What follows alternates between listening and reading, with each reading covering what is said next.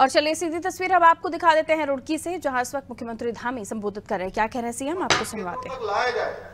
कैसे उनमें जागरूकता लाई जाए? कैसे मतदान का प्रतिशत बढ़ाया जाए? साथियों, मतदान के लिए केवल चुनाव आयोग काम करता रहे। इतने भर से काम चलने वाला नहीं है। इसमें हम सबको भी अपनी भूमिका निश्चित रूप से सम्मिलित करनी होगी। हमें आपको और हमारे युवाओं को स्कूल में, कॉलेज में महाविद्यालयों में, संस्थानों में,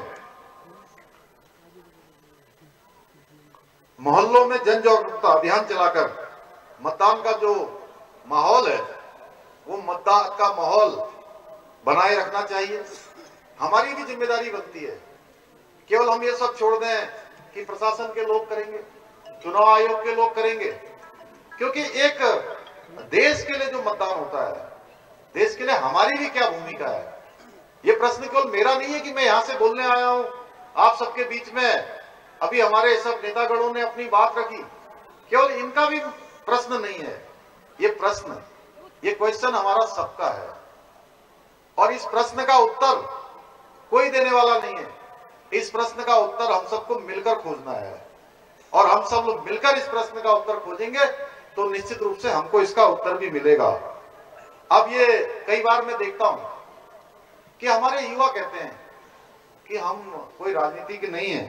राजनीतिक नहीं है, क्योंकि जीवन के अब हर मोड़ पर मैं आपसे कह सकता हूँ कि आपको राजनीति मिलती है। हर मोड़ पर आपको ऐसा समाज मिलता है जो राजनीति के कारण से आगे बढ़ता है। फ़र्क यह है कि आज हमारे प्रधानमंत्री जी ने जो राजनीति है उसकी परिभाषा बदल दी है। पहले के वर्षों में राजनीति माने केवल एक ऐसे लोगों का समूह माना जाता था, जिनके पीछे भीड़ चलती थी। निर्णय लेने वाले कोई पीछे से होते थे, चेहरे कुछ होते थे, काम कोई और करता था।